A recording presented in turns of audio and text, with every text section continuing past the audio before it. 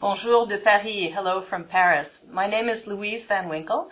I'm an immigration officer here at the Canadian Embassy. We serve 12 countries, and I have the pleasure also to be at the head of a little team doing some promotion, and specifically promotion to Francophone candidates who are interested in living and working in Canada. And not only in Quebec. In fact, our focus is provinces and territories where French is very present but is a minority language. In that context, I would like to thank you for the invitation to present today. Um, it's a very important discussion that's being held in many parts of Canada, and I know that it's a special challenge for the North uh, to diversify the economy, to internationalize the uh, population as well, and to bring in those skills that are needed in the workplace. Um, I'd like to give you a few ideas about how we might be able to support the attraction and recruitment initiatives and also uh, how we're working with different organizations within Canada uh, with projects that help the retention as well. Very important factor always. Donc, pour commencer, j'aimerais décrire un petit peu le travail que nous faisons euh, ici à Paris, mais aussi avec nos collègues dans d'autres bureaux des visas. So as a visa office, we issue, of course, uh, visitor visas, work permits, study permits, and we also process permanent residence applications. Um, as I mentioned, we do have a specific mandate uh, to attract more Francophone candidates, to inform them of job opportunities in different parts of the country and in different sectors. And in that uh, aspect, we work very closely with our colleagues at the visa offices in Tunisia, in Morocco, and also in Senegal. It covers a number of countries in Francophone Africa. Um, many, many people now are starting their stay in Canada on a temporary basis, either as international students or as temporary foreign workers, and make the transition, maybe make the decision as well to stay on once they are in Canada. So I'd like to focus a little bit on the temporary work permits. Um, as you may know, the rule of thumb in Canada is for an employer who wants to bring in someone who's not already a permanent resident or citizen, they must obtain a labor market opinion. For that, it's the opportunity to demonstrate that they have uh, posted the position sufficiently, that uh, they were simply not able to recruit uh, locally or nationally for the positions. Uh, we do have some alternatives to that. I like to say sometimes that it's like French grammar. There's the rule, and there are all the exceptions. Among the exceptions may be some ideas that could be of use as you explore uh, where to source candidates for the different jobs in, uh, in Nunavut and specifically in the Iqaluit area. Um, there are international students already in Canada. Uh, as of June 1st, anyone with a study permit will be allowed to, uh, to work part-time during their studies or full-time during the scheduled uh, breaks. So that might be one source to look at the different post-secondary training programs, university programs, where people are learning the skills that you need, bring them in for the holiday periods, for instance. Spouses of international students can obtain an open work permit. So they're already in Canada with the authorization to work. So again, connections through the educational institutions through the work placement um, sections and the international student offices of those institutions might be another way of uh, reaching out to some of those candidates already in Canada. There is, of course, also the post-graduation work permit. That is an open work permit that can be up to three years after graduating from a post-secondary institution. Temporary foreign workers can also come in under youth mobility programs, for instance.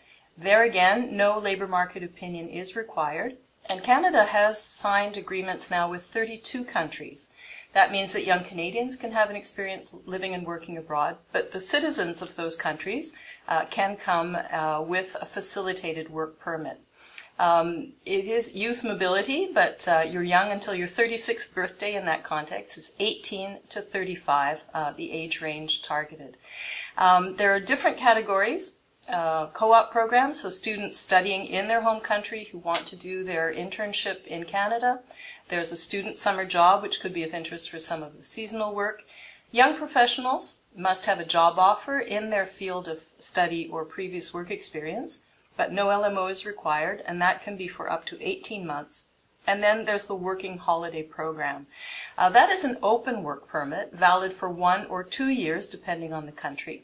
And uh, participants can come in and take any job, move around the country as they wish within that period, and take any job that is offered to them. Uh, if you're interested in that, I can uh, relay some information about how to get the jobs posted and inform people who are already in Canada or planning to come in the, in the next few months with the working holiday uh, permit. Another exemption that I'd like to focus on too is the francophone significant benefit, avantage significatif francophone. And this is a reflection of a roadmap uh, which the federal government has put into place to support minority linguistic communities. So in this case, of course, francophone communities outside Quebec. What this means is that any candidates in a managerial, professional, or technical position outside of Quebec uh, if the applicant is francophone, uh, can obtain a work permit without a labor market opinion. This, of course, means a faster process for employers. It means less paperwork and fewer fees. And we can process those applications as quickly as in 10 working days. So that is um, an advantage, certainly, that uh, you might be interested in. And in the information sheet that has been distributed, I believe, it's one of the uh, areas that is mentioned along with our contact information if you have candidates that you've identified or if you're looking to source candidates in some of the countries in which we're working.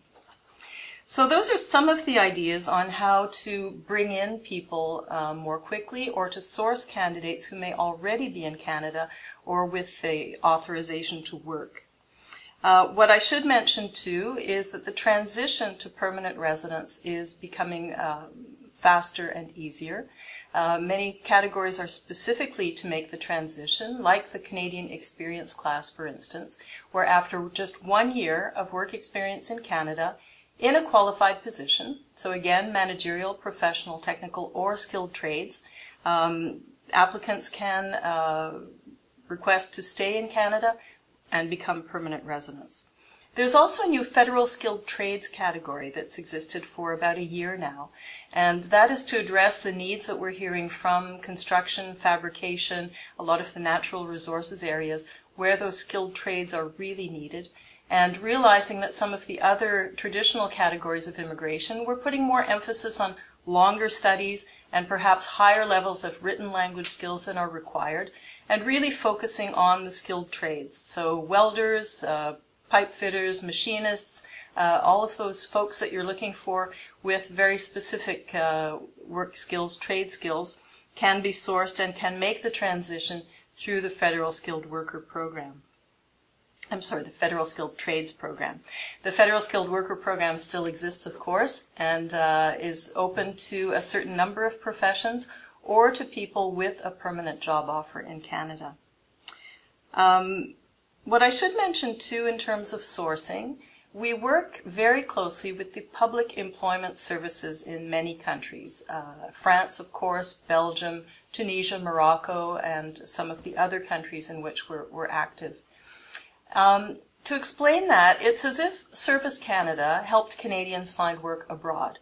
So it's a bit of a strange notion to us, but uh, given that there is uh, mobility within Europe, and also international mobility.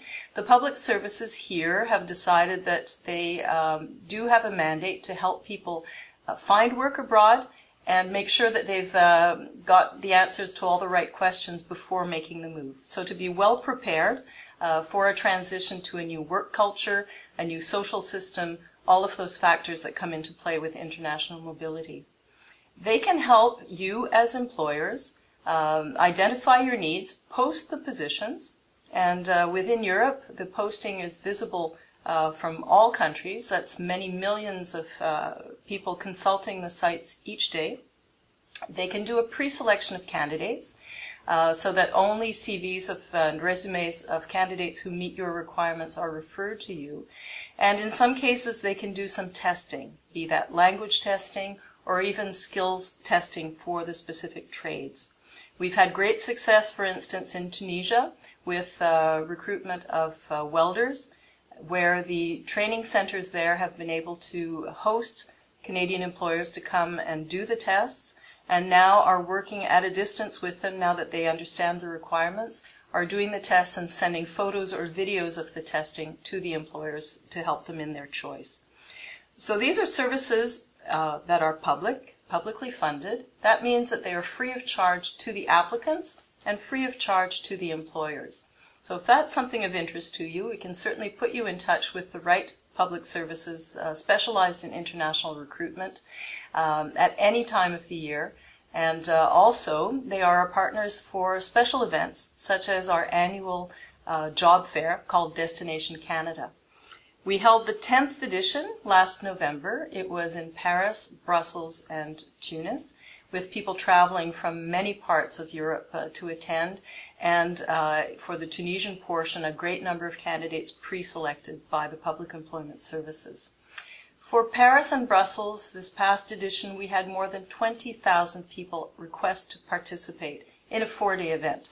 Uh, we obviously weren't uh, able to accommodate them all, so a selection was made on the basis of the job offers that employers had posted, and also on more general uh, criteria, people who had a good level of French but also of English, who already had some international experience, either as students or workers.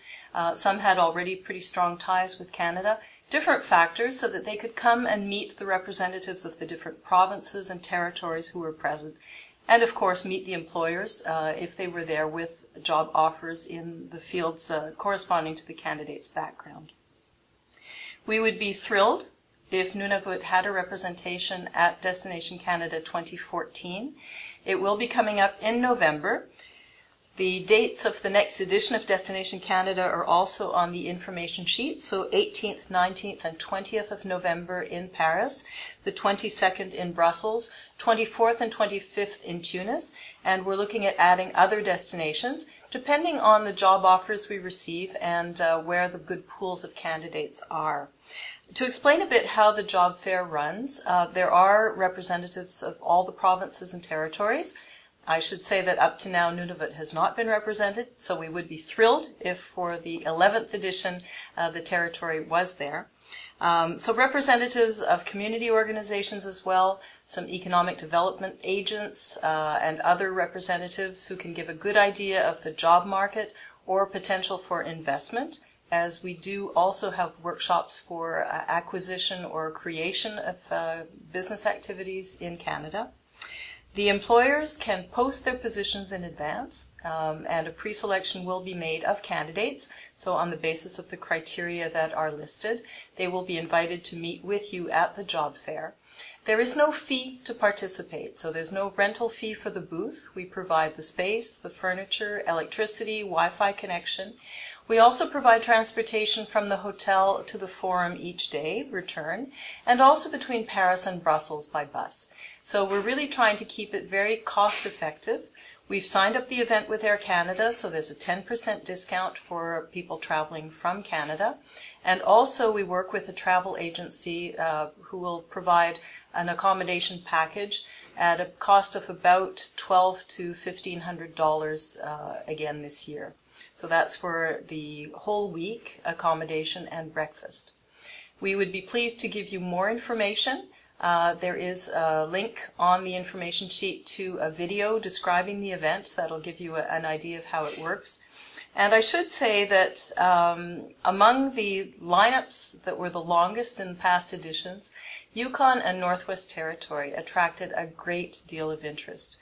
Um, perhaps it's the exotic uh, aspect of the North it's certainly intriguing to a lot of candidates, but I think it's also knowing that there is a lot of opportunity to find work, uh, to find interesting positions, and perhaps to progress more quickly through some of the uh, the hierarchical levels uh, when working in a in a smaller community.